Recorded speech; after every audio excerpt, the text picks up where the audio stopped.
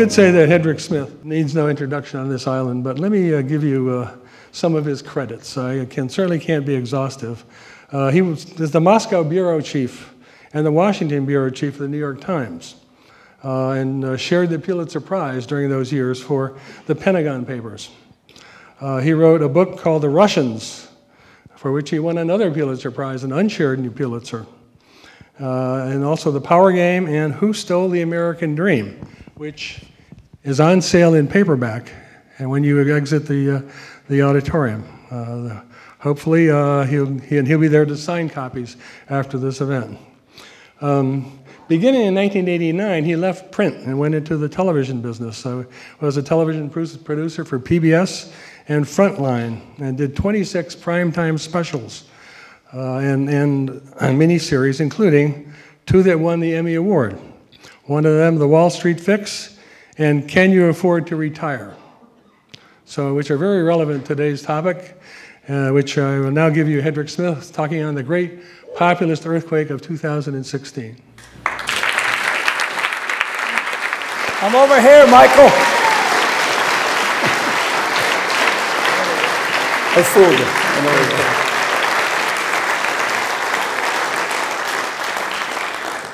Well, first of all, let me thank you for being here. It's a treat to see all of you, um, uh, particularly on a day when the Seahawks are playing. It's nice of you to be here. And I just want to tell you how important and wonderful Orcas Island is to Susan and me. My regret is that Susan isn't here. This is a dash of mine out from Washington, uh, D.C. to Washington State and back in very short order. Uh, so she couldn't make it. But we love Orcas. We love being part of this community. We love the Chamber Music Festival and Martin Lund's Jazz Festival and all the other activities, the sailing and the hiking and so forth that goes on here. So I feel very much, I, I can tell you, I would not have done this for any other place but Orcas at this moment. And secondly, I want to thank Michael and the committee for inviting me because it's, a, it's an important topic and it's an important time. Michael's right six months ago, it's a long, ago, a long time ago in journalistic terms, I, I, wrote a piece called The Populist Earthquake of, 19, of 2016. And we are looking at uh, and feeling the aftershocks and tremors of a populist earthquake. The election of 2016 is probably the most dramatic outburst of populist uh, backlash against the elite and against the status quo in this country since Andrew Jackson's election in 1828. It sounds like a long time ago, it is. Jackson, you may or may not recall, was a Westerner from Tennessee. He was an outsider. He was running against the establishment candidate of his party, President John Quincy Adams. And the issues of that election were jobs and trade and the what he called the tariff of abominations.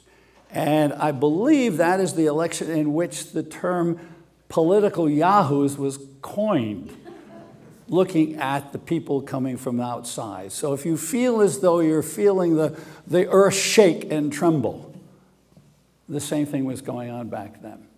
And what I want to do today, I'm going to go into the election a little bit and look at some of the numbers with you, but I'm not going to do what people have been doing for the last 10 days, parse the numbers in detail. What I want to do is use the election as an MRI on America and see what it tells us about the country, where we are, where we're headed, why it happened, and then maybe some of the stuff that may follow on and, and that you may or may not want to be involved in. And when I'm talking about the election of 2016, I'm really not talking just about the race between Donald Trump and Hillary Clinton. I'm talking about the whole election, and that means three elections there was an election in which Bernie Sanders, an unlikely 73 year old fringe candidate who admittedly called himself a democratic socialist, which is usually the kiss of death in American politics, ran and won 21 states and 12 million votes and nearly toppled a sure dead winning nominee for the Democratic Party. That's a huge event in and of itself, and it tells you something is rumbling. Some anger is churning in the belly of America. And Bernie Sanders tapped into it, and I suspect there are people in this audience who are very much moved by that man and by his cause and by the issues that he raised. And then we had a second election in which a non politician presidential candidate ran against 16 16 Republican rivals, most of them established politicians, governors of states, senators, whatever. And once again, absolutely, totally fooled the establishment politicians and certainly the mainstream media and most of the American public and won the nomination. And then we had a third election in which that guy ran against the establishment candidate and won. So when you have three elections like that going on, uh, just set aside partisan politics for a moment. It's telling you something really big is going on in this country. We're a really divided country.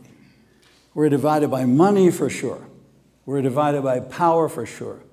We're divided by whom we trust. Think of all the messengers that went out there and said one thing or another about Trump and whose comments were totally dismissed. Well, that tells you something about who trusts whom and certainly the media, uh, is mistrusted by a tremendous part of the American public, okay? And we're also talking about economic destiny. To me, the key issue in this election is inequality. But there's a difficulty. When we talk about inequality in this country, we tend to think of it in terms of inequality of income. But it's much more than inequality of income, it's inequality of power. It's inequality over the ability to help set the nation's agenda. It's inequality of being listened to in Washington. In economic terms, it's not just about the income you get, it's inequality of economic destiny. What do you expect? Where are you going? Where is your family relative to where you want it to be? Where is your family relative to where it was? And where's your family particularly the next generation, going to be unless something has changed. All those things are boiling in this past year in this country, and they're still afoot. The, uh, the election hasn't changed anything. The outcome has happened, but we're now going to see how it plays out. And I maintain that unless we address the issues of inequality in this country, it's going to continue to roil the politic. It's going to continue to upset both political parties, both the Republican Party, which is very divided in itself, and the Democratic Party, which is clearly very divided among itself right now. So, this is the table that has been set. And then you stop to think I mean, Donald Trump and Bernie Sanders didn't invent the populism and the rebellion. There was, of course, Occupy Wall Street and the ripples outward from Wall Street. There was the Tea Party rebellion of 2010. So they're picking up from what's already happened and what's afoot.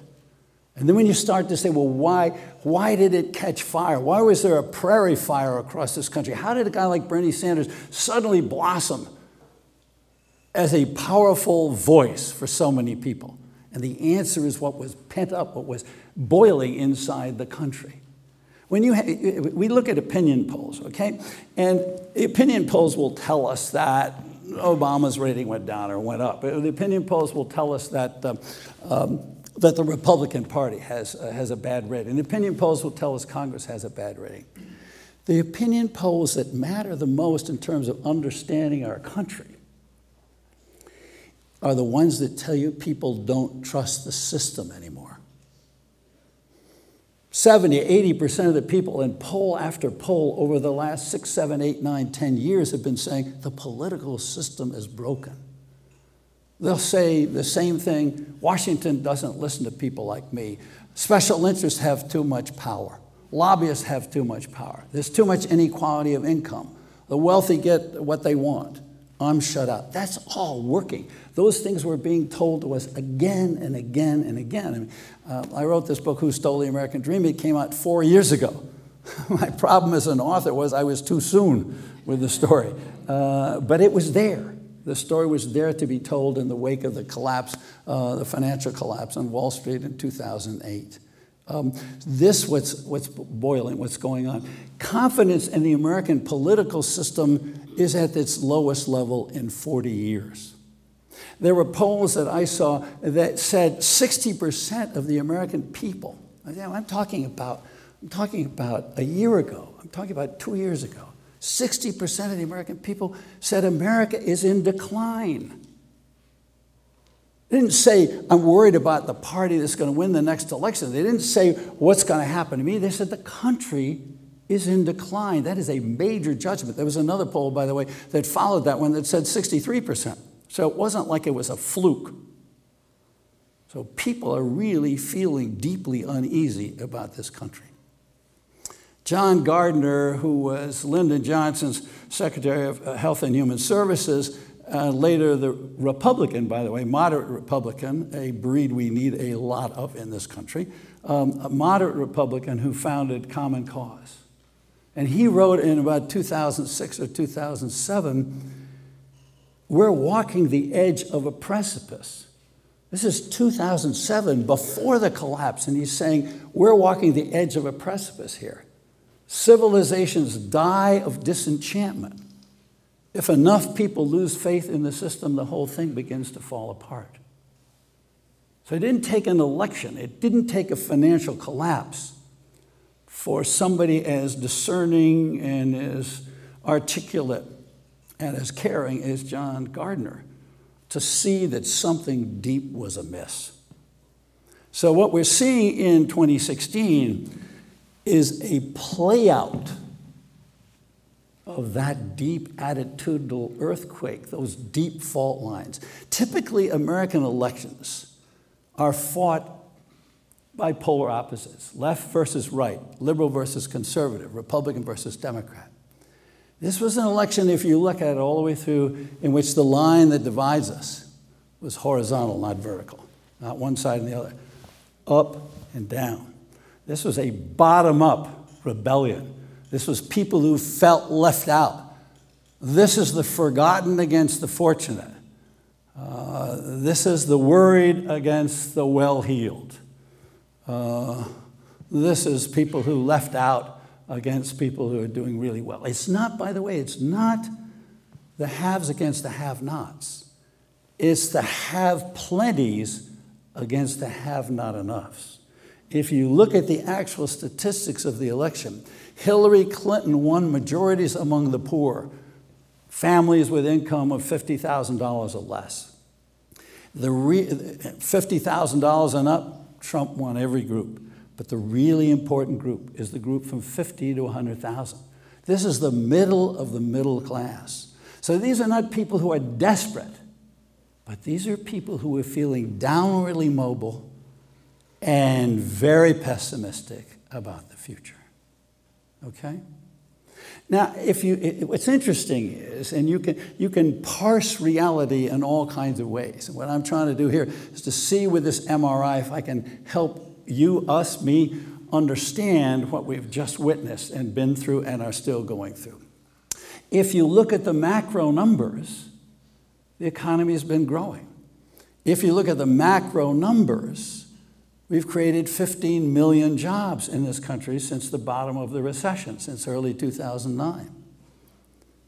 But if you look at the micro and the other macro number you can look at, and this is an important number that has not been made much of, the average wage in 2015 went up 5.2%. That is a big gain, 5.2%. And those are all things that were being articulated by President Obama and by Hillary Clinton and by the legions of people who supported her and they're legit, and they're an important part of the picture.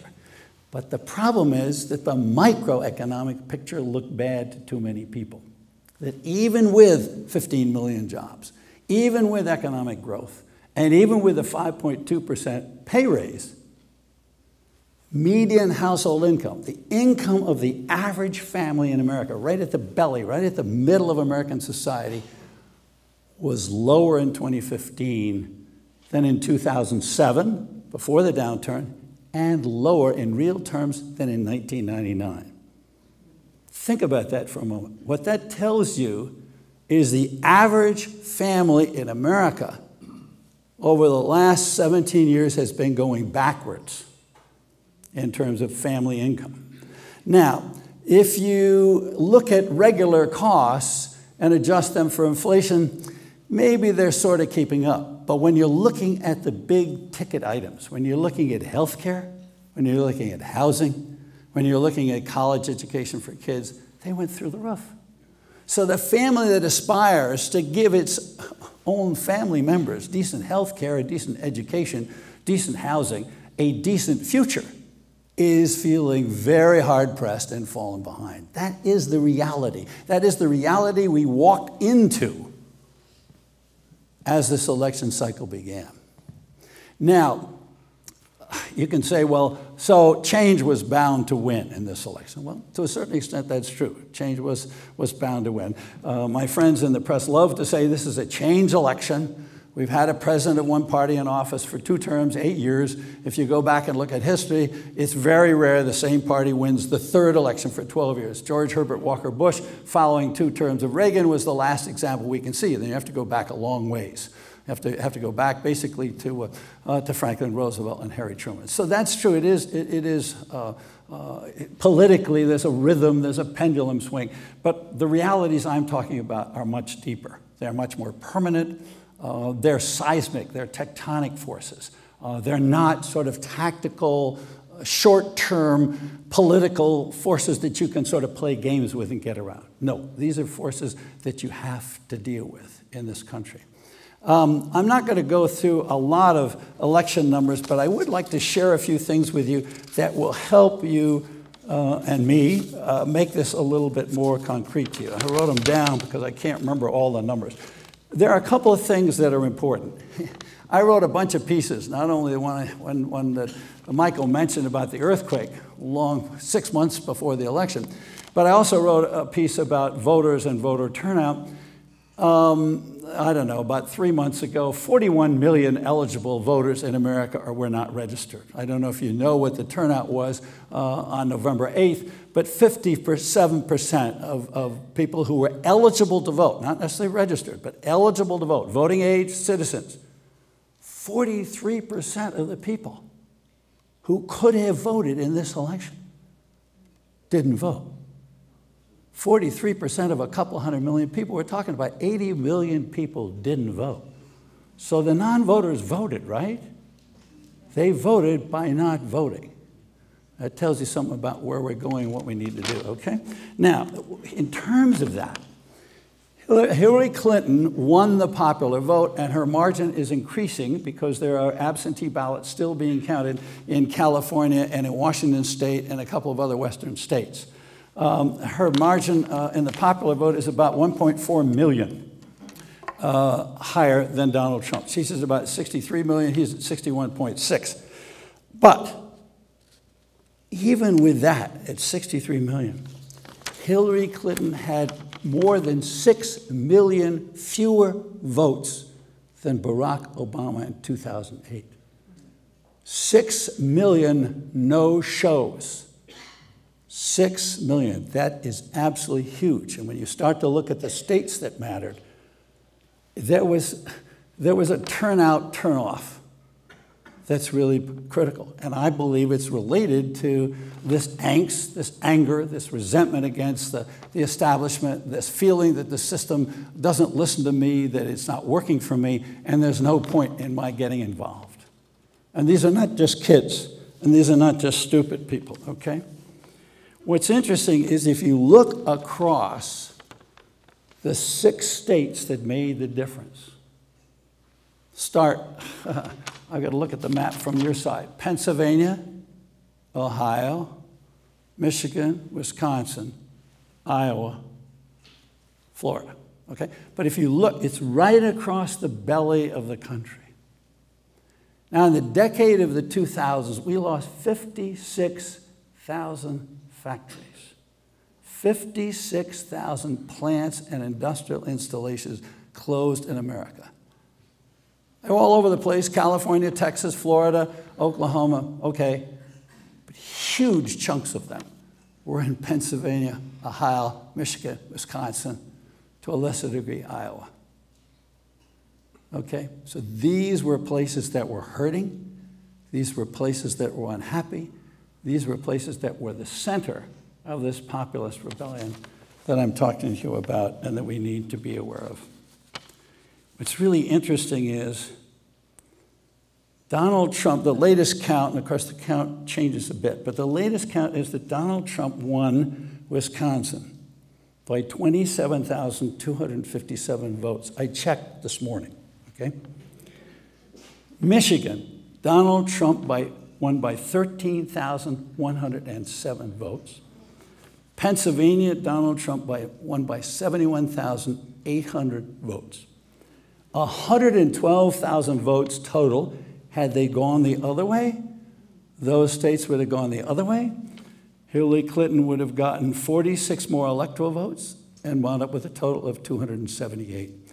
So when I'm talking to you about the belly of America and the importance of political attitudes, political turnout, and economic and social experience in those areas, I'm telling you where this election turned. Were there other factors? Was race a factor? Uh, was there prejudice? Did uh, Comey's letter make a difference? Yeah, all those things played in. But you can see the pivot. It's like a teeter totter. You can see Barack Obama won Pennsylvania, Ohio, Michigan, Wisconsin, Iowa, and Florida. And Hillary Clinton lost those states. Okay? So that's telling you. And a lot of the things that happened there happened in other states as well. What's interesting is in terms of turnout, turnout in some urban areas, which tend to be heavily Democratic, went down. Wasn't as high as it had been four and eight years ago and turnout in rural areas went up. Wisconsin's a really interesting state. Uh, Milwaukee County, which is where the city of Milwaukee is and which is a Democratic stronghold, the turnout was down by 60,000 votes from last year. Now remember, I told you Trump won Wisconsin by less than 28,000 votes. 60,000 more votes in Milwaukee County probably would have carried Wisconsin, okay? Now, what's interesting about Wisconsin, and this tells us something about America, this is really fascinating. There are par large parts of Wisconsin, and I'm indebted to a guy named Craig Gilbert, who is the Washington bureau chief of the Milwaukee Journal, is a friend of mine. He did looked at this in detail. There are parts of Wisconsin that voted for Obama. And those same parts of Wisconsin voted for Trump.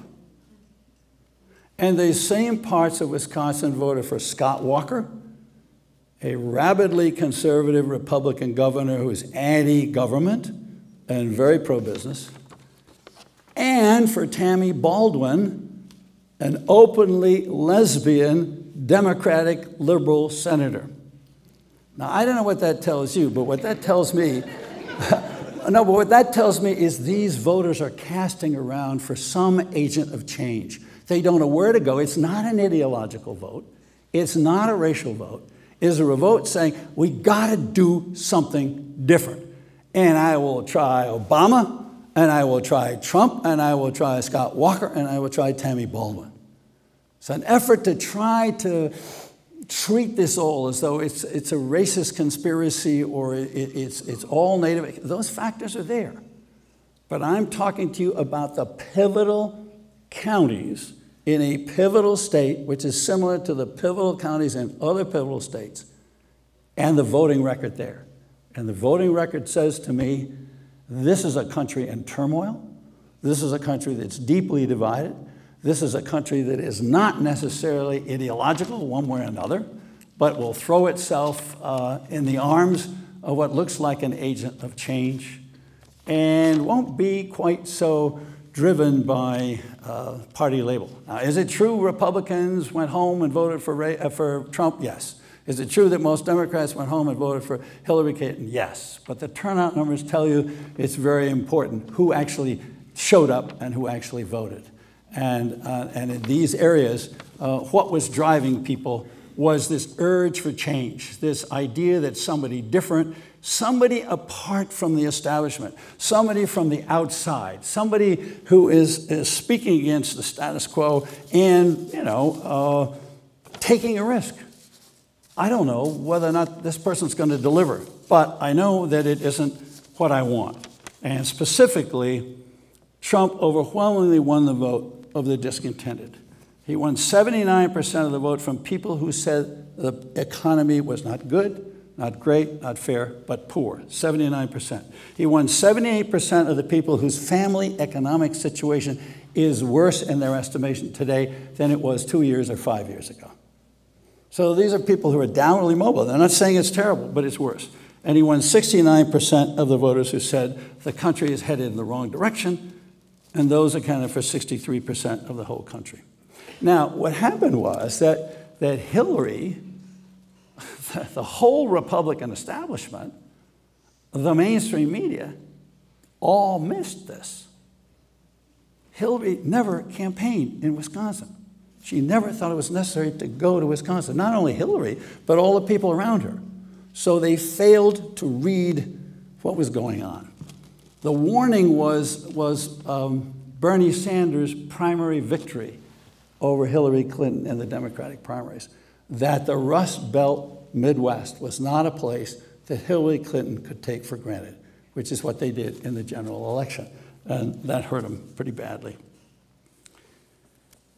And the difficulty, of course, for Hillary is that whatever she said about policy, she was seen as the voice of Wall Street. I mean, Bernie Sanders must have said it umpteen times. Why was she making $600,000 speaking fees speaking for Wall Street banks and she doesn't want to make the speeches public? So the case for Trump among lots of these people was made before we got to the general election. Those were deep set problems for lots of the people out there. Uh, and, and he took advantage of that in spades. My point is not so much about them uh, as candidates, but about the attitudes and the forces that were at work. Um, and what it says about America. Um, I've spoken here before, and I hope those of you who heard me will forgive me if I repeat, but I'm drawing back to Arnold Toynbee, who was a famous man when I went to Oxford after Williams College in the 1950s. And Toynbee wrote a study of history that studied uh, uh, human civilization, 21 civilizations over 6,000 years. And Toynbee is interested in the way civilizations rise and fall, what causes civilizations to grow, to flourish, to endure, and what causes them to begin to wither and wither away, collapse, and, and fade uh, and disappear into the ashes of history. And he talks about um, the challenges and responses of various different civilizations. He sees that the evolution of human history is that of challenge and response. And um, he starts back with the Inca civilization in South America and the Egyptian civilization along the Nile. And he says the challenge they faced was an environmental challenge. There was a question whether or not they were even going to be able to establish an agricultural economy that would sustain a human civilization in a relatively small area. And he said they overcame that challenge, and we know they did well because they had the extra wealth and the extra human uh, power and ingenuity to be able to build the famous temples at Machu Picchu and along the Nile, the pyramids, and all the temples up and down the Nile. So we know they were successful. But they succumbed to another challenge, which is the challenge of an external military invader. In the case of the Inca civilization, it was the Spaniards, and in the case of the Egyptians, it was the Ottoman Turks, and they fell before that. Well, that's the kind of challenge we in America can understand. We re respond to, we relate to. We did it in World War I. We certainly did it in World War II. We met the challenge of Hitler. Uh, and then in the Cold War, we met the challenge of Soviet communism around the world. So we met that challenge. But the two civilizations that we most admire and draw our examples from, indeed, even build our political temples to in Washington, are ancient Greece and ancient Rome. And Toynbee says they fell victim to what Toynbee calls schisms in the soul of the society. Schisms in the soul of the society. Schisms in the body social. We would call it schisms in the body politic. What he means by that is internal divisions that become irreconcilable and the civilization can't deal with them. In the case of the Greek city states, they became, got into internecine warfare and they gradually withered and lost power, and the Hellenic civilization rises, and then you get Rome. And in Rome, it starts, you know, with, with, with Caesar and Brutus, and then the fight with Pompey, and it goes on. Even while, even while Rome is expanding, the internal divisions are gradually weakening Rome from within. So when the Huns come, they can take over because it crackles. Ladies and gentlemen, this is where we are today. This is where we are in America, in my estimation. We have schisms in the soul of the body politic. We have schisms in the society. We have internal divisions. And our ability to survive, and looking around this room, there are a fair number of people who are either my age or close to my age. So as we think about our children and our grandchildren, and younger people, as you think about your lives and your children, and think ahead, we have got to deal with these schisms, or we're going to continue to have the kind of roiling, upsetting, earthquake election that we had this year. I'm not making a prediction about the 2020 election or the 2024 election. I'm telling you what, what lies ahead for America over the next decade or two, unless we deal with this, because we have way too many people in this country. We're talking 50, 60, 70 million people in this country who feel shut out and unable to do anything about it, and therefore they will take a desperate chance to try to change things. Now, the question is what is it? How do we change it? What do we do about it? And the typical answer is well, we got this inequality of income uh, because of globalization, because of technology. Uh, it's sort of inevitable. Suck it up, get used to it, middle America all those 50, 56,000 plants, they were due to go. And the trouble is, there's an element of truth to that. There is hardly an industry uh, in America that hasn't been hit by globalization. And you've had companies shut down and plants shut down, and communities shut down, by the way. Because a lot of these places, particularly in rural areas where you saw this very negative vote uh, towards Clinton and very positive vote towards Trump, uh, they lost the only plant within 20 miles of a lot of people's houses, and they lost the good middle class jobs that went along with those. And, but I think it's a half truth that's dangerously misleading. And the reason I think that is that there are a couple of reasons. One is we've seen manufacturing in this country decline uh, from being about 19, 20% of the workforce. And those are great jobs. Those manufacturing jobs are great jobs. They pay 22, 23, 24, 25 dollars an hour. They come with good health benefits. They come with good retirement benefits and so forth. And the people who lose those jobs and have lost those jobs wind up in jobs working at Walmart or in retail or some for 10, 11, 12 dollars an hour. Now, the statistics show, and I just gave them to you, 15 million new jobs. But those people are moving from jobs at $25 an hour to jobs at $10 an hour. They don't think they're well off. They don't think they're well off, and they're right. Okay? So that happened here. Well, inevitable. At the same time that was going on, we went from 19, 20% of our workforce in manufacturing in 1999 to 8 or 9% today. Huge loss. Five, six million jobs. At the same time, Germany kept 21% of its workforce in manufacturing jobs. At the same time, Germany and Germany's industry raised the pay of the average German worker five times more than the average American multinational corporation. Now, the answer we were told is you can't possibly afford to do that and be globally competitive. Okay? What's interesting is during the decade of 2000, we had a $6 trillion trade deficit while we were holding the wages down and while our manufacturing sector was shrinking. We had a $6 trillion trade deficit. We bought $6 trillion more stuff from the rest of the world, mostly China. And Germany had a $2 trillion trade surplus. So it is possible in today's world for a manufacturing, modern, high technology economy to have both high wages, a large percent of the workforce in manufacturing, and deal well in terms of global trade. And we did that for a long time in America. We had a period in America where we had shared prosperity. If you go back to the 40s, 50s, 60s, 70s, um, we had increases in productivity of almost 100%, 97% over a 35 year period. And the average, the median hourly pay and benefits of the average worker went up 95%. What's interesting is if you look at the Trump voters, the ones that are most skewed towards Trump are older. Some of those actually may remember a period where, when the economy grew, they actually saw their standard of living go up. And the answer is in the last 35 years, the productivity of the American workforce went up 80%, and the median hourly pay and benefits of the average worker went up 10%.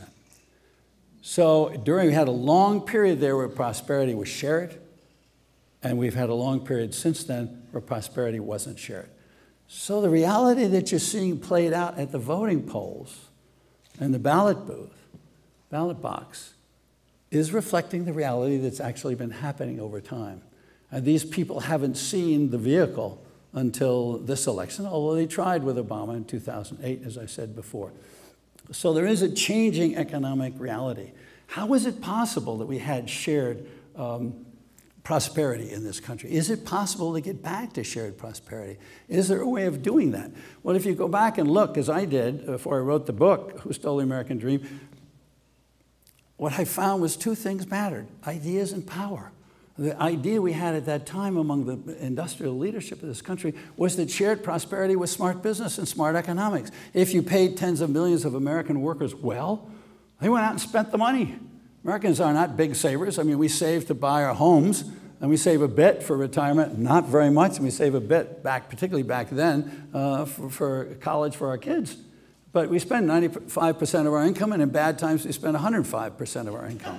You know? but, but the point was, they went and spent it. And if they spend it, they drive demand. Demand forces companies to expand production, build new plants, hire more people, uh, buy more equipment, push the economy to grow. It's called the virtuous circle of growth. If you pay high, you get high demand. You get high demand, it pushes high growth. Those things go together. There's a circle that works together. So that worked during that period. And then there was also a period, and this is very relevant to you, to me, to us today. We had a period where Americans were deeply involved in politics. People involved in civic movements.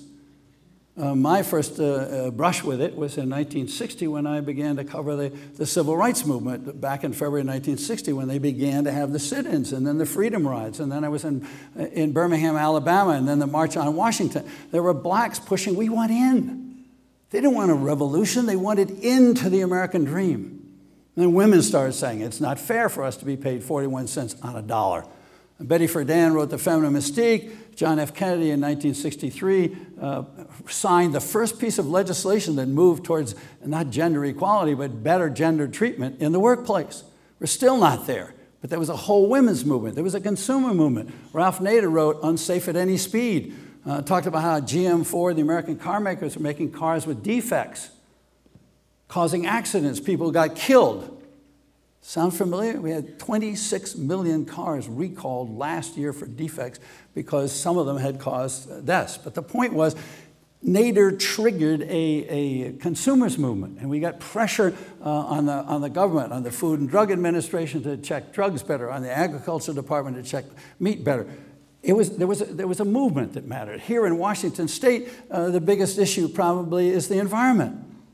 In fact, some of the people who are down in Seattle uh, were, were people who helped organize Earth Day, uh, Earth Day 1970.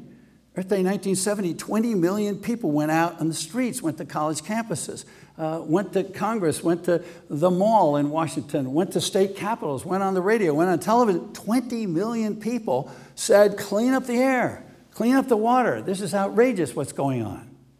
There was engagement, okay? And believe it or not, you know, in, in, in one year, Congress passed seven pieces of major uh, environmental legislation. Uh, Clean Air Act, Clean Water Act, Clean Drinking Water Act, Safe Drinking Water Act, Anti-Toxic Substance Act, on and on and on. And all of them, except the Clean Air Act, uh, Clean Water Act, were signed by Nixon, a very pro-business Republican president. And the majorities on Capitol Hill were enormous. I mean, the votes were like 90 to 6, 89 to 11, um, 72 to 3. I mean, huge. Was, this was not a partisan issue. And Bill Ruckelshaus comes from this state. Uh, he was the first head of the EPA, he's a friend of mine, Environmental Protection Agency. I said to Bill, I said, what's going on here? I mean, Nixon gets aboard. What's happening? He said, the people have spoken. People are engaged. We're in the government. We got to respond to people. So civic engagement mattered. We had, this, we had the Vietnam War, we had the anti war movement that had an impact. So I'm talking about a whole bunch of movements on a variety of different issues. It was common back then, and there was an interplay and the sharing of power between Washington and average people and the communication worked a lot better. And then we began to move in another direction. We had a revolt of the bosses. Uh, they began to fight back against the populist movements. Uh, business got organized. They began to build the lobbies. Uh, even before Reagan gets into power, uh, you know, there, there are 10,000 registered lobbyists for a business uh, in response to a letter from a guy named Lewis Powell, who was a corporate attorney later put on the Supreme Court by Richard Nixon. But the point is, business got active. And they started to fight against the unions, they started to fight against the consumer movement, and they began to move large lobbying forces to Washington. And they began to change the, the, the landscape of power in Washington. And at the same time, we began to move away from what, what, what used to be called stakeholder capitalism, where the CEO said, It's my job to balance the economic interests of the various different stakeholders the workers, the, the owners, the managers, the towns we operate in, the banks that loan us money, the customers we have, which is what people believed back in the heyday of the middle class. Uh, Charlie Wilson, CEO of General Motors, Reg Jones, CEO of General Electric, uh, on and on. I can cite a half a dozen of them they believed that it was smart economics and it, they believed it was their responsibility to share.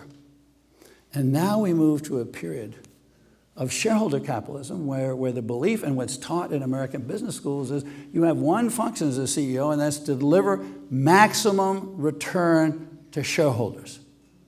Give everything you can to the shareholders and yeah, if you have to pay workers more, you have to have new products and so forth, yeah, that's fine. But your object is to return maximum share to, to, to uh, maximum return to shareholders. There's an economist at the University of Massachusetts named Bill Lazonick. He did a very interesting study that got published in the Harvard Business Review a couple of years ago. And what it said was he went back and studied. This is really important. He went back and studied and said, what was happening? What was generating the kind of economy that I just described to you where you had shared prosperity. Back in the 50s and 60s, the Standard & Poor 500 companies, which is what he analyzed, 500 of the largest companies in America, used to split their profits roughly 50-50 between their shareholders and reinvesting in their business. Actually, it was 53% to shareholders and 47% to research and development of new products, to moving into new markets, to retraining their workers and to giving their workers more money. Fast forward to the decade of 2010, what Lazonick found was the Standard & Poor 500 companies returned 91% of their profits to shareholders and spent only 9% on R&D, growth into new markets, worker retraining. That's the formula for a disaster. And it isn't just Hedrick Smith who's telling you that. Larry Fink, who was the CEO of BlackRock, a $4 trillion investment fund on Wall Street, the biggest fund on Wall Street, last year wrote a letter to 500 American CEOs and said, You are killing the economy. You are killing the growth of your own company. Stop coddling your shareholders. Plow more of your money back into growth. Okay, so these are some of the economic facts that lie behind the revolt that I've been talking about. In fact, there has been this shift. There is absolutely nothing in globalization, there is nothing in modern technology that says you spend 91% of your income and profits on yourselves and your investors, and only 9% on growth. That's one of the reasons why we have slow growth it's one of the reasons why most companies don't have very good retraining programs for the workers who get thrown out of work or whose skills fall out of date because there's new technology. It means we have to shift back. We have to invest in growth again. So now here we are. What do we do about it? What's Trump going to do about it? What are we going to do about it as a, as a people? Because these are the issues we've got to address.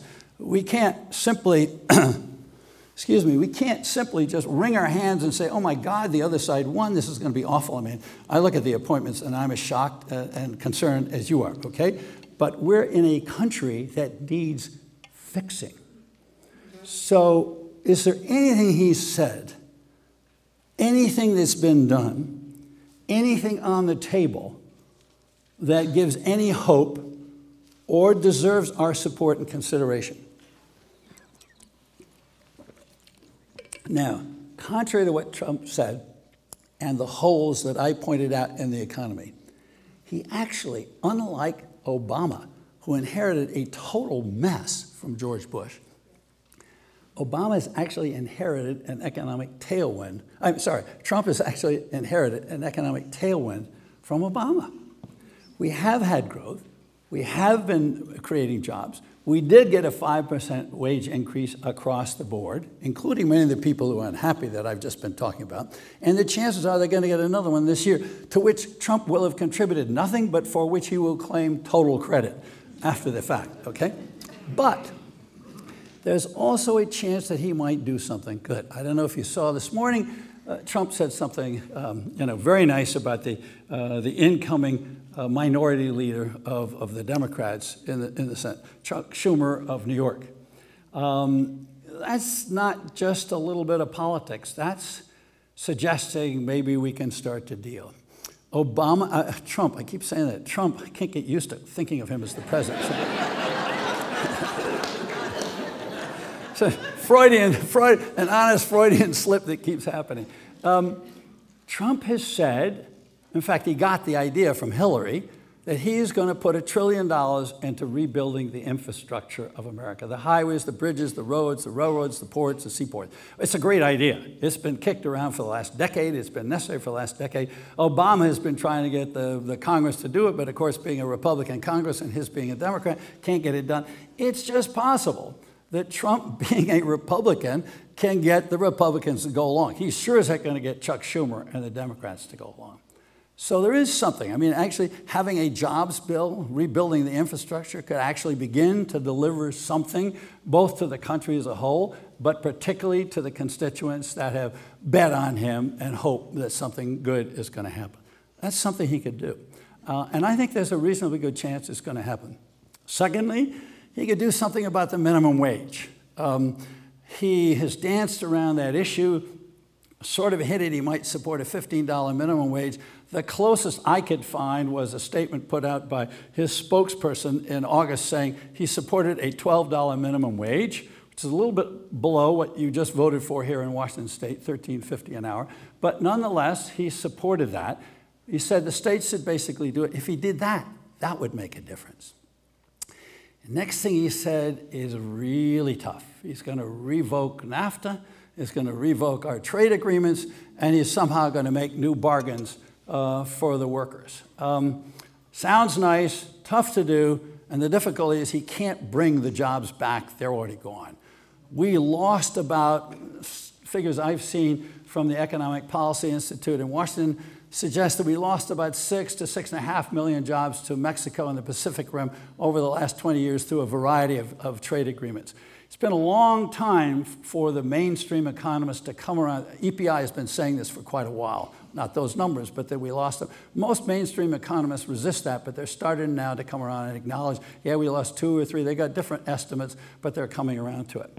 Um, but what will really be interesting is to see whether or not Trump, who believes in jawboning, uh, talking, putting pressure on people, striking a deal, whether or not he will actually make a difference in specific circumstances. You may recall that uh, during the Indiana primary and during the primaries in the Middle West, he made a huge noise about Carrier Corporation, which is in Indianapolis, moving a plant, 1,400 jobs from Indianapolis to Mexico. They make furnaces, they make air conditioning equipment. And Trump said, if you do that, I'm going to slap a 40% tariff on anything you bring back from Mexico.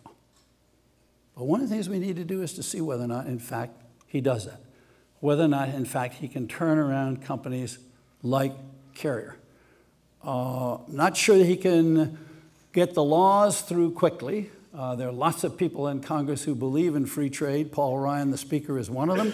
Uh, but simply the threat, public threat, coming from a president uh, like Trump, who is tough and vindictive, um, it's possible that there will be some people who will back down. There are people who will watch that. Uh, there's something else that might actually help the economy in terms of jobs, and that is we're about to see the biggest Republican Keynesian economics from the White House we've seen since Richard Nixon and probably bigger than Nixon. Trump is talking about a huge tax cut, mostly for the wealthy, and I'll get to that in a minute. Huge tax cut, big spending, a trillion dollars over time on infrastructure and uh, more spending on defense. Well, that's going to be deficits like Ronald Reagan. Reagan was famous for deficits, or should have been famous for deficits, but in any case, he did have a lot of deficits. They were very big until the ones that Bush left Obama. Uh, and so that is part of what's exciting Wall Street today the notion of deficit economics, fiscal policy driving growth. So that could happen. Now, that could wind up by being short term gains, and I'm not a real good economist, but the economists I read tell me it could work really nicely for a year or two and then wind up kaboom in the next economic collapse. Uh, so that might. But to me, one of the real tests is going to be whether or not Trump is just talking the talk or whether or not he's willing to walk the walk. He's told and gotten the votes of 61 million people with the promise and the suggestion that he's going to reduce the economic inequality in this country. If he proceeds with the kind of tax cut he's talked about, and by the way, he's, he's thinking about eliminating the estate tax entirely. The estate tax is paid today by 0.6% of the population in America. It is only people who live and have money way the hell up in the stratosphere. And for some reason or other, a lot of average people think it would be really good if they got rid of that. But um, uh, I, have not been able to figure that out myself. Um, but if he does that, and he does the tax cut he's been talking about, and the economists that I read say that if you're in the 0.1%, that means you make $3.7 million a year or more, lots more, you will get a tax cut of about $300,000. And if you make about 50,000 to $80,000 a year, you'll get about $1,100 tax cut. And not only the numbers whopper jawed, but the percentages on income are whopper jawed. So if that goes through, um, you wonder what it's going to take some of those folks out there to wake up. Um, so I'm sitting and waiting. I have a mixed uh, evaluation of Trump's potential. He can do things that will make a difference to the middle class and the issues that have been driving this uh, political season. But there's also a grave risk that he won't, he won't do enough of them and he will do other things that will counterbalance that. So that then begins to throw responsibility elsewhere. If you don't get it done in Washington, you're going to have to get it done in Washington, i.e., this Washington, in the states. So now, one of the things that's crucially important is voting rights. Some of the places that had low turnouts, or lower turnouts than four or eight years ago, Ohio, Wisconsin, Michigan, North Carolina, have had very restrictive voting rights laws passed in the last four or five years. And that had an impact. So, one of the things that people were concerned about a balance of power, fairness for the middle class, and I'm trying to be nonpartisan here, but if you happen to be concerned uh, with the Democratic Party, one of the things that people need to work on in this country is voter registration. When you have 43%, 80 million people who are eligible to vote and they don't vote, then you've got a very serious problem that we need to address. Okay? And voter organization. Then I mentioned infrastructure. On this last election ballot, there are over 40 measures in states for infrastructure funding. In California, I don't know whether there was one in Washington State, but all across the country. So states are starting to move. States are starting to do something about college education. Bernie Sanders has been talking about free college education for everybody, but believe it or not, in Tennessee and in Oregon, the legislatures passed bills for free community college tuition. It's also being picked up and talked about in Texas and in Mississippi. My point is that when you sort of throw your hands up and say nothing can happen, don't do that. It is actually happening. So there's investment in infrastructure and jobs, there's investing in people. Some states are recognizing that if they're going to keep uh, uh, factories and modern technological companies in their uh, environment and, and, within their borders, they're going to have to put money up to retrain workers. The workers, particularly workers who are in their 50s, who, who've got a good job record, who are used to a good standard of living, but who, who were trained in analog technology and, and not digital. And they got to be retrained from analog to digital. That has to be done. All kinds of telephone workers and lots of others. So there are things that can be done at the state level. And I want to leave with the idea of reform. I never can fail to talk about political reform. You had a ballot measure. One of the things we have to do is make American democracy work better. People are right that we have a busted system. People are right to say that gerrymandering is tilting the results of, of 85 to 90% of the congressional districts in the country. People are right to say that big money is dominating our campaigns. You had I 1464 in Washington State this year, a ballot measure put limits on campaign donations, to expose dark donations, and to give uh, democracy vouchers, $100 democracy vouchers to voters in order to offset the power and influence of big donors. And it failed. Narrowly, but it failed. Guess what? In South Dakota, a red, red, red state, it passed. It passed against the Koch brothers coming in and spending hundreds of thousands of dollars to defeat it. Now, if that can happen in South Dakota, it can happen in Washington State and Oregon and lots of other states, and you can go back and do it again. In Florida, I was just in Florida. The Democrats picked up seven, eight, nine maximum. There's still a couple of seats that are in question. They only picked up a few seats. Three of them came from the state of Florida. Why? Florida enacted the toughest gerrymander reform law in the nation in 2010, a Tea Party year. It, got, it says in the Constitution of the state of Florida, listen to the words, you cannot redistrict the election districts of the state, quote, with the intent to favor one party over the other, unquote, or to keep incumbents in office. It is a standard for the nation as a whole. The federal constitution doesn't have anything that tough. The Republican legislature totally ignored it, engaged in a clandestine, unconstitutional gerrymander. It took five years of fighting in the courts to expose it. The state Supreme Court ordered the districts redrawn, eight of them. When you redraw eight, you probably wind up by redrawing 15. And in three or four of those districts this year, more competitive districts, voter choice, the black former chief of the Orlando police force, Val Demings, a black woman, won in a seat that had previously been held by Dan Webster, a Tea Party Republican. Stephanie Murphy, a young uh, Asian American Rollins College economics professor, ran against John Mica, a 12 term Republican congressman, and narrowly beat him in the, in the district north uh, of Orlando. And there are a couple of others. I'm not going to go into details. But the point is, these things can happen. Ladies and gentlemen, we cannot have the kind of schisms in American society and not recognize that not only is our economic system, but our democracy is in danger. And we can't look at that and say, oh, God, it was awful. I'm going to take 90 million Valiums or something stronger and retreat. This is a time, and Bernie Sanders and Elizabeth Warren, a bunch of others are saying, this is a time to re engage.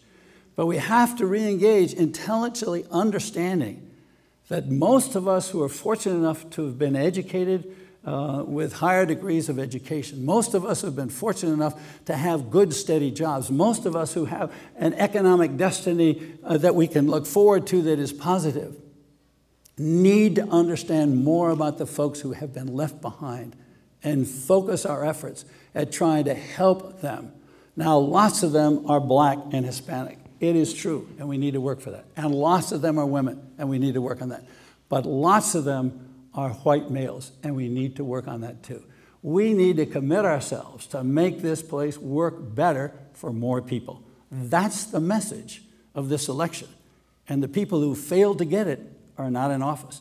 And the people who heard the message and either used it and exploited it for their political and opportunistic advantage or actually intend to do something are in charge. But those of us who care about this country and those issues, we need to get involved and get active. Thank you.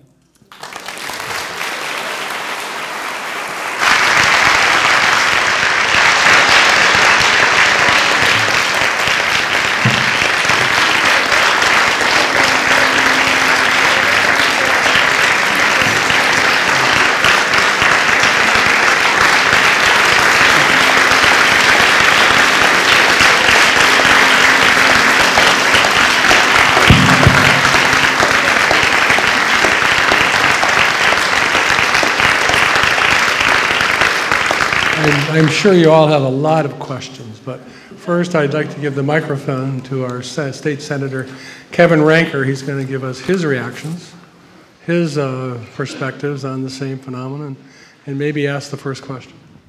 Thank you, Michael. Uh, let's have another round of applause for Hedrick, but also for the committee.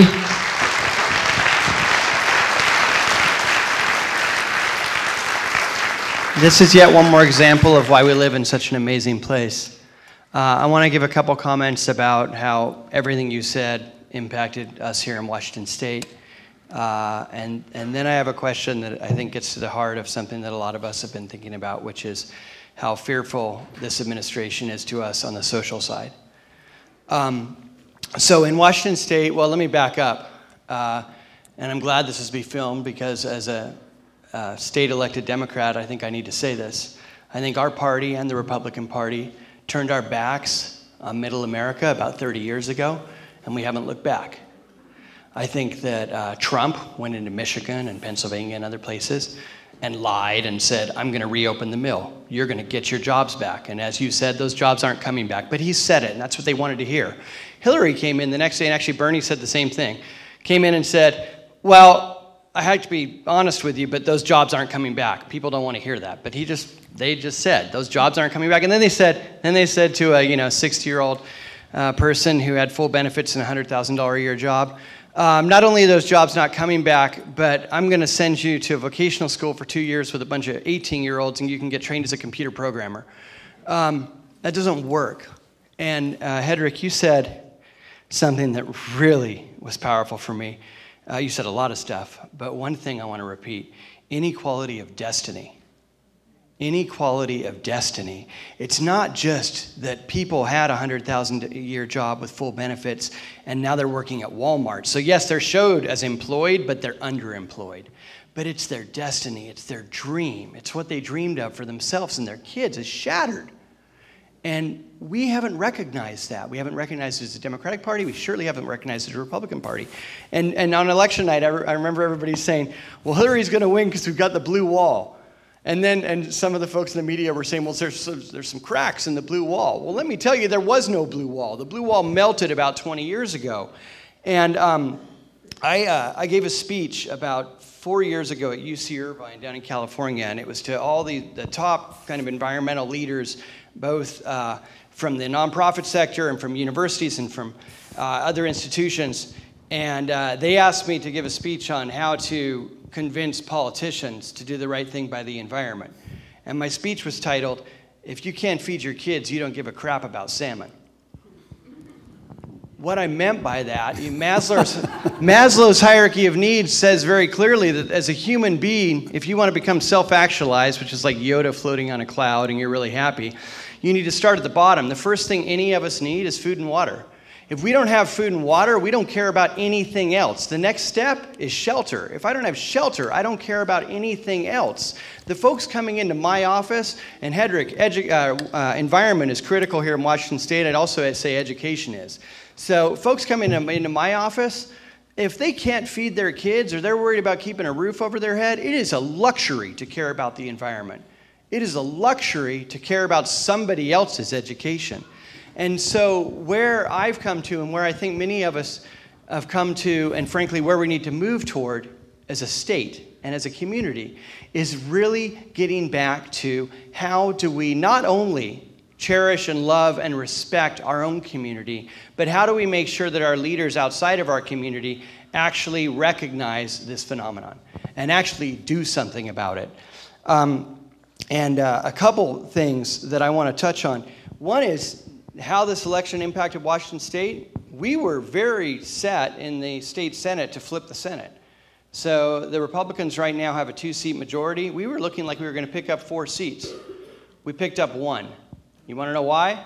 The same phenomenon that hit Pennsylvania and Michigan hit Washington State. The one seat we picked up was Mercer Island.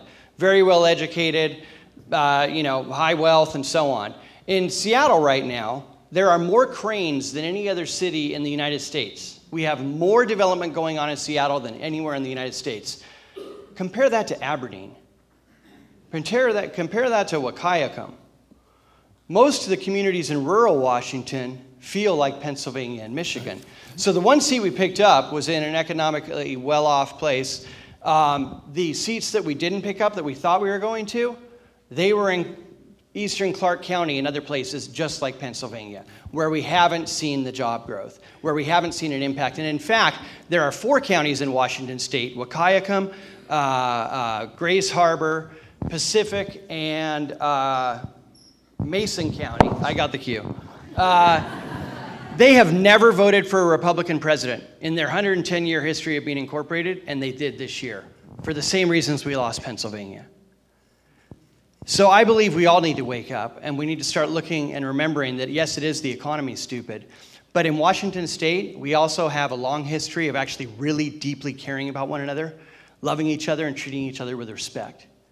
And so while we all need to wake up to the economic lessons, I think we also need to wake up and realize that some of these things are going to be under attack. And we need to fight like hell to protect them.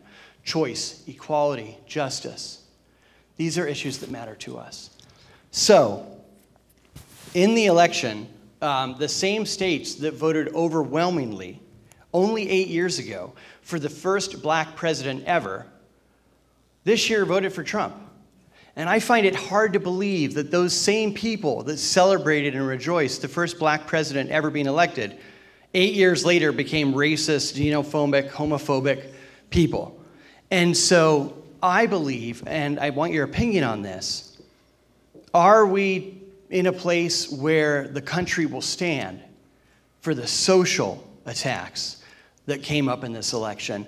Or is it purely about the economy and the general population will come to a place where they recognize that following that language and that hatred is unacceptable and un American?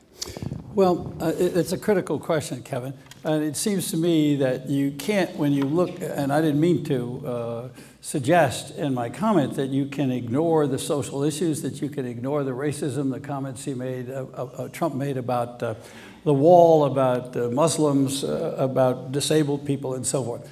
It seems to me the response of the country has to be if you go in the direction of healing the economic inequalities, if you move towards policies that are going to do that, we're with you and we're behind you. And if you move in the direction of becoming repressive towards minorities, if, if you uh, if you, if you go further in the direction of suppressing voting rights uh, and civil rights and so forth, uh, then you're going to run into active opposition. And people have got to be ready to engage, whether it's engaged with lawsuits, whether it's engaged with marches, whether it's engaged on Capitol Hill uh, to fight it at the state level. I mean, I, I think um, nobody knows how to read Trump okay? None of us know how to read Trump. He's totally unpredictable.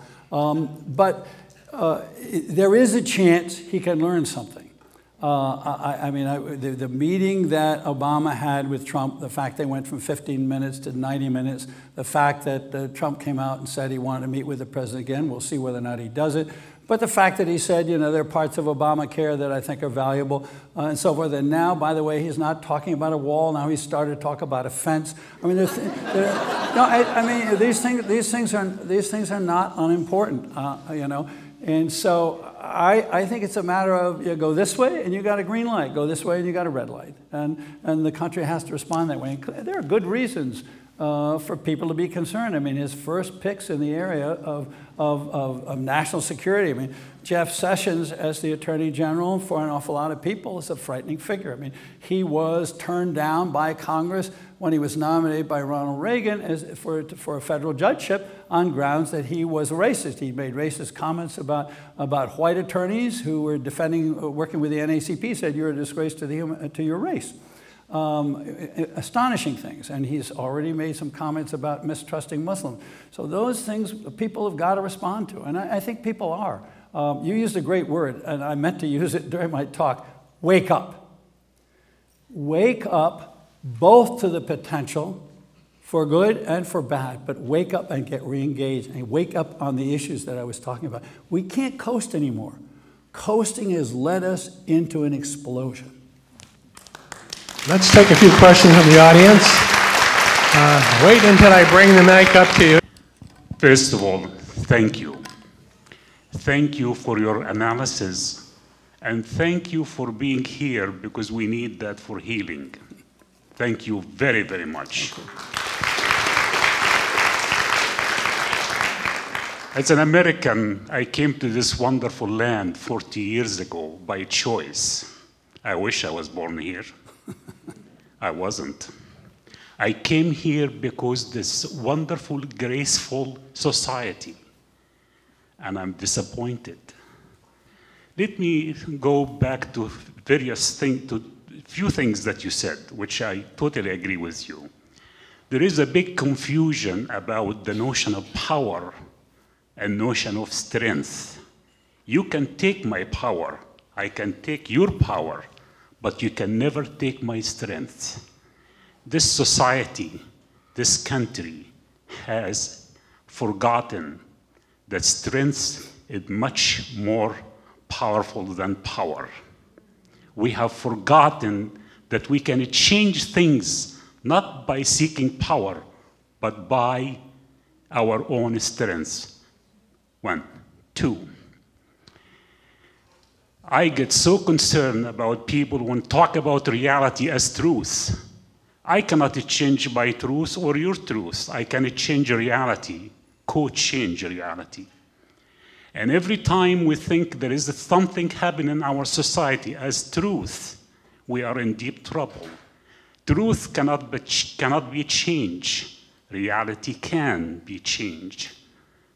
Let me just thank you for your comments. Uh, they're certainly in harmony with what I was saying. Thank you for your insights. Um, about the infrastructure spending Trump has proposed, I heard it was going to be private investment and bridges and highways would it be toll um, infrastructure. You know, one of the interesting things about um, other societies, particularly Germany, to use an example, uh, that uh, we could learn from is that they work on a lot of their uh, global economic competition, whether they're building strength at home infrastructure or trading abroad with trade fairs. They put public and private together. Now, what's interesting about Trump is that as a real estate executive, he is used to that mix of public private funding. And Obama tried to propose to the Congress uh, that there are currently something like 2.5, 2.6 trillion dollars of American corporate profits overseas. And we could let them bring back those profits to this country. They're avoiding taxes over there, right? And they don't want to pay a 35% corporate tax rate. Maybe we could give them a 20% corporate tax rate if they would promise to invest that money in infrastructure development. So you, and then you need public money as in, uh, loan guarantees, often as the initial funding to start projects. So that public-private combination that has been used very effectively overseas and which has been almost religiously resisted by economic conservatives in the Congress in both houses is something that Trump might actually be able to sell. So that's going to be a very interesting exercise to see. But the public-private combination has clearly been successful in other countries, and we used to do much more of it. Under guys like Eisenhower and Nixon, Republicans, pro-business, and in more recent years, the Republican Party, in Congress at least, has become ideologically opposed to that. Uh, this is where some of Trump's unpredictability could turn out to be a positive factor. I don't know whether or not it'll work, but it's a potential, it's there. And the fact that he said something nice about Schumer, and Schumer happens to be on board in a public private infrastructure idea, suggests that maybe that kind of bargaining is just, is, it may be hinted at, it may be a feint, it may be a fake, or it may be the start of something serious. I don't know. Thank you. Question over here. question. Uh, hello, neighbor. Hi. I thought this would be a good time to uh, invite you down for some Buck Bay oysters if you're going to be in town. Got to do it. That'll do it. Okay, well, that'll keep you around. Well, that's good. I'm glad to hear it. Uh, Hedrick, uh, in the last week, the Washington Post and the Wall Street Journal have both done an in, uh, extensive analysis of the Trump stimulus plan. And they have concluded that it is fool's gold. They have looked at it in detail and determined that it is not a Keynesian priming the pump by spending money on projects and hiring people. It consists almost exclusively of giving tax credits to existing corporations who switch their projects to so called US projects. And by the switch, the investors in that company and the principals are enriched substantially. Both papers reach the conclusion that there will be little, if any, job creation by the Trump stimulus. So, my question is if that happens, how does that figure into your political mix at this point? Well, the answer is if, that's the way the plan is carried out and enacted, then it won't have, it won't have the effect of, uh, of, of helping reduce the inequality of income. It won't generate jobs, so forth. I mean, they've done the analysis. I find it hard to believe that, that uh, Trump is going to be able to get other people on the Hill on board with that. He may well succeed with House Republicans, but he's going to have a much more difficult time in the Senate getting away with that.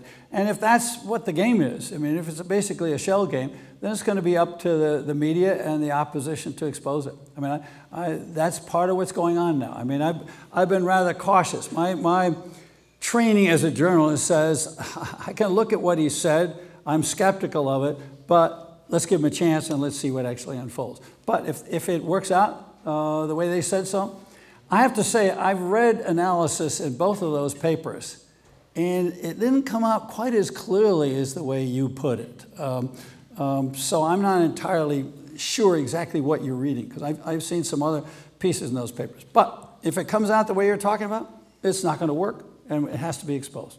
Uh, and I will bet you there are going to be people on the Hill who are going to be pushing hard to make it go the other way. It's going to be very important to see who he puts in charge of some of the domestic agencies and who he puts in charge of domestic economic policy in the White House to see what kind of people we get. I mean, at the moment, we've got, he's, he's paying off. I mean, he's appointing loyalists. The only, and, and Reince Priebus is a loyalist, but he's at least a mainstream regular Republican. He's the only mainstream regular Republican at this point named chief of staff that, uh, that Trump has appointed. So we're going to have to see whether or not he brings other people in. If it's as tilted in domestic policy as it appears to be in security policy, then I think we got a lot of worries. We had a question over there. Uh, Mr. Smith, and I also want to say thank you for being here, and also thank you for the many years of professional service to uh, all of us. Uh, to move a little bit from domestic to a foreign policy, uh, relations with Russia. Many of the people who supported the president-elect would find it hard to embrace Russia. With your experience, how could that be reconciled, and what do you see as U.S.-Russia relations? That's a great, it's a great question, and it's a tough question. Um, first of all, with Trump, we, we, still don't know whether or not um, what he says is rhetoric or whether or not it's policy. So we're going to have to wait and find out about that. It is clear that Vladimir Putin isn't waiting. Vladimir Putin is, was in there fast. First foreign leader to call him, has a conversation. The Trump people said, um, uh, he called to say congratulations. The Kremlin spokesman came out and said they agreed that American Russian relations were bad, they need to be improved, and the two of them are going to work together. In other words, Putin is ready to jump ahead. Uh, Putin wants to get uh, the, the, American and Western economic sanctions lifted. I, Putin is going to be extremely difficult uh, for Trump to deal with, and I don't think Trump has got any idea of how difficult and how devious Putin is. Um, and the question is, can things move slowly enough so Trump can get on some kind of learning curve that's going to give him a chance for dealing? You do recall that there was another uh, president who was Republican who said he looked deeply into the eyes of Mr. Putin and he saw the reality and embraced him uh, and got taken for a bit of a ride himself. Having said that, there is a, there is a very difficult real strategy debate. Where are we on Syria? are there moderate, mainstream rebels capable of opposing and unseating the Assad regime? Or have we passed that point? Do we need to acknowledge that and then enlist the Russians to get rid of ISIS so we can then begin to go deal with the rest of the Middle East on a different footing? And there are people who are not Trumpian and there are people who are not fools who vigorously debate that in Washington now. Um, I have to say, I don't have a high confidence in the new national security advisor to the president. So, who is going to be, and the guy who's been picked for the CIA is extremely bright. Uh, Pompeo finished West Point at the top of his class, number one in his class, went on and got a Harvard Law degree. Right? He has been adamant and polemical against the Iranian nuclear deal, which I think was a good deal and, and actually saved us at least 10 years on Iran not building a nuclear weapon during that period. The opponents all say, well, look what's going to happen after 10 years. Well, look what was happening before we got it. It was already happening. He may want to upset that. Uh, he, he was certainly all over Hillary on the Benghazi episode, so he's combative. On the other hand, people in the agency talk about Pompeo as being a very bright guy who can learn. So, in a lot of these instances, the question is how much time are they going to get to understand? And one of my other questions is, you know, will Obama and Trump continue to have conversations? I mean, Obama and company tried, not very effectively, but they tried to back these moderate rebels in Syria. Sharing that experience with Trump may be important. Obama's had lots of conversations, and Kerry's had many more with Putin sharing some of that experience and, and, knowing in specific terms when Putin said certain things and then didn't live up to them may be a very important part of the learning process here. But I have to tell you, I'm worried about it. On the other hand, we pushed, the, in the Clinton administration and then in the George W. Bush administration, we pushed the Russians back to their own frontiers. We said basically, we won the Cold War. Sorry, Ivan. NATO is going to take over all of Eastern Europe. Now, you need to understand that for two or three centuries, Russian czars have regarded Eastern Europe, Hungary, Poland, Czechoslovakia, Bulgaria, not quite to Romania, the same way we regard the Caribbean. And when we pushed NATO up close there, and then we signed the Article 5 NATO agreement that says if Lithuania is attacked, we're attacked, and we'll all go to collective defense that really pushed the bear back in the cave. And so when he had a chance, and you had that revolt going on in Ukraine, and he, the bear could grab Crimea, he grabbed it. It was easy. He had short supply lines, we had long supply lines. He had a country that was willing to back him up going to war, we had a country that wasn't willing to back us up. So we have to face some of those realities that in some ways Putin has been taking back what he feels as though was taken away from them at the end of the Cold War. Now, that doesn't mean surrendering Lithuania, Latvia, and Estonia, but figuring out some other way to begin to draw the Russians back into some kind of pan European security arrangement is very important. And we've been unable to get, get away from this deadlock we've had with them. Um, I don't have a lot of faith in Trump and so far in his people at being able to do that in a wise way. But we do need to do that, and they may begin to open it up. It's just that Putin, he just jumped the pawn too, and he moved the rook and the castle over. Uh, and I hope the guy who's taken over can understand why I better hang on to my wallet and my underwear and I mean, it, it, it, this is the kind of thing we could talk about for hours. It's a very difficult situation. Holding firm, but the most important thing is holding firm with Merkel, holding firm with Hollande in France, holding firm with May in Britain, not walking away from your allies, particularly until you can figure out what, what you want to do. And in terms of the Iranian nuclear deal, the Russians are a signatory. The Russians are a signatory to the Iranian deal. Putin doesn't want Trump to walk away from the Iranian deal. So were the Germans, so were the French, so were the British.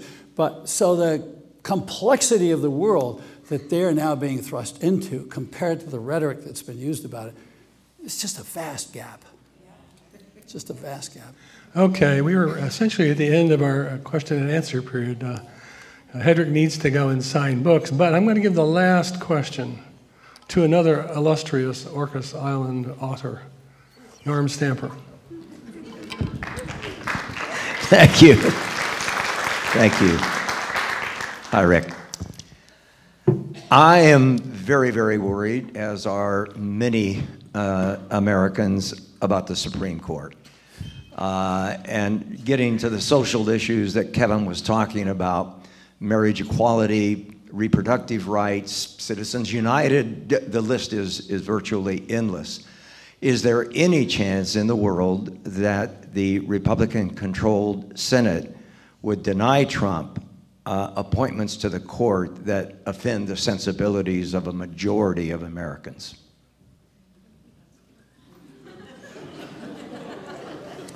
Um, you know, my the quick answer is no, and then we can go to another question.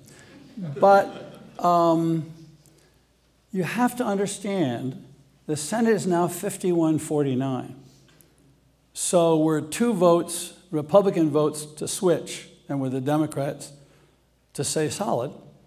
There might, in fact, be a limit beyond which uh, uh, Trump can't go. I believe that's already at work, uh, not on the Supreme Court. But I believe, as uh, I mean, we've already had Rudy Giuliani say publicly, and everybody's reported he wants to be Secretary of State. It hasn't happened.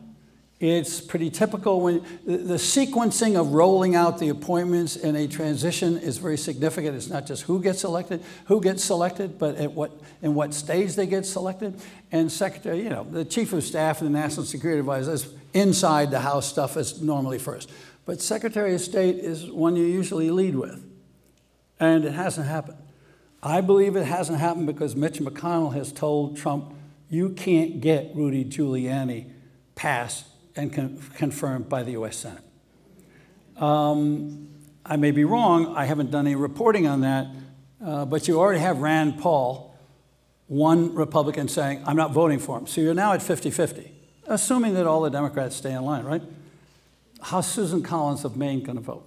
Susan Collins of Maine was very clear about not supporting Trump. She's going to be a difficult vote for Trump to get on a number of issues. He's going to have to win her over. That's not something that Trump is used to having to do. So it may be, I'm talking about other politicians. He's used to saying, well, they better be careful, I'll destroy him. Remember what he said about Paul Ryan when Paul Ryan wasn't on board. So I, I don't, uh, my hunch is that within the list of 23 judges that, that Trump said that he was going to pick from, there are probably two or three that would pass the Senate, in which case you're going to get a conservative uh, you know, judge that passes the Republican Senate. Uh, then the question is how conservative and what's the court going to do?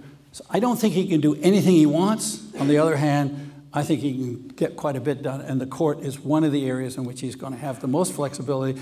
I mean, look, Mitch McConnell said, we're not going to let uh, Obama picked this Supreme Court justice. We're going to let the people decide. Mitch McConnell's going to come back and say the people decided. We're going to. This is one we're going to cash in. So I think that's, I, to me, that's a done deal, and, and you've got to get into the quality. But that's where a a, a guy like Chuck Schumer can come in and say, Mr. President, if you want to do this and you go this far, we're going to have a lot of trouble over here. Or your nominee for such and such is going to go through very difficult hearings. We're going to be dug in on this. Don't push us here. So uh, we're so early in the game. It's very impossible. It's impossible to say. But I think there's going to be a conservative justice picked to the Supreme Court just as you do. And I sadly would say the same thing to you over vodka, which I would happily share with you. Okay. I, have been convinced to relent. I'm going to give one more question to uh, Lerner Limbach, who's the director of the Orcas Food Co-op and was our only uh, delegate to the uh, Democratic uh, National Convention.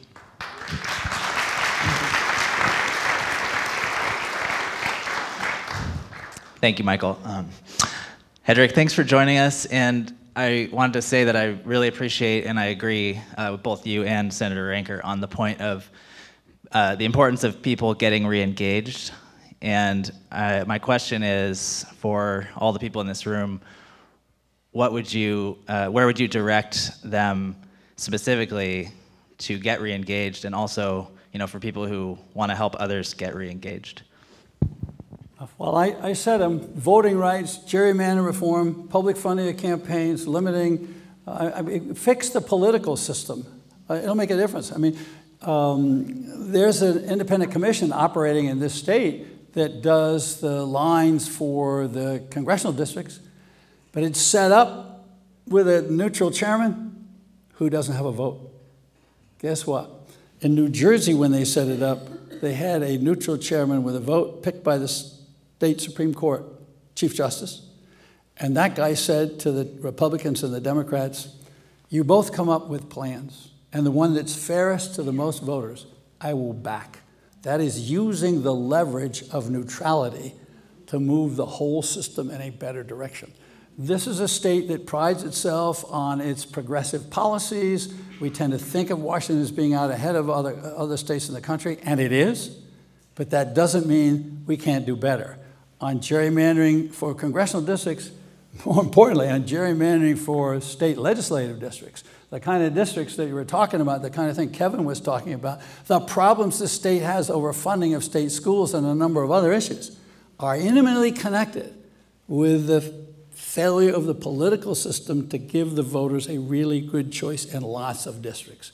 That's what gerrymandering is about. Gerrymandering reform is about. It's not about turning seats from Republican to Democrat or the other way around. It is giving voters a choice. It is drawing districts that are sufficiently evenly balanced so politicians have to come out and actually compete, which leads to more sensible policies, which strengthens the middle of our system and moves us away from the extremes, which is where we are. Gerrymander reform, the public funding issue that got beaten in the state. I can't believe it got beaten in the state, I 1464, and it gets passed in, in South Dakota. That's very important. Uh, disclosure bills. You had a disclosure bill that almost passed the Washington legislature a couple of years ago. Uh, it sort of blindsided the, the powers that be that are used to dominating elections with money, and they woke up belatedly uh, but you couldn't get a petition drive really working here. And they're important things. So I would, I would engage on fixing our democracy.